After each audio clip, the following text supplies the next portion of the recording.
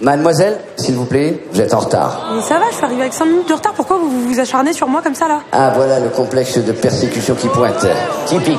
Typique Typique de quoi exactement C'est du racisme, vous avez pas le droit T'as complètement pété les plombs, Pierre. Je suis obligé de te faire passer en conseil de discipline.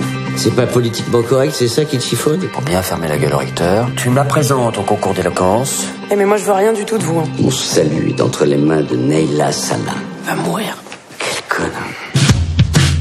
Ça s'est bien passé C'est trop un raciste. Fatima Comment vous m'avez appelé là Quand allez-vous vous débarrasser de votre accoutrement de banlieusarde informe Vous savez quoi Je vous aime pas.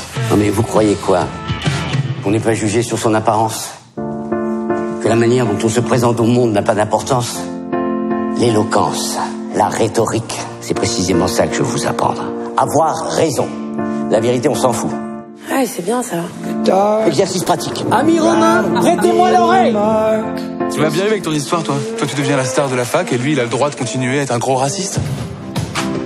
Je comprends pas là. T'es son amende honorable. Il s'est servi de toi, mais tu t'es pas servi de lui toi aussi Je me suis pas rendu compte que j'étais pas à ma place. Moi, la meuf que j'ai rencontrée, elle abandonne pas comme ça.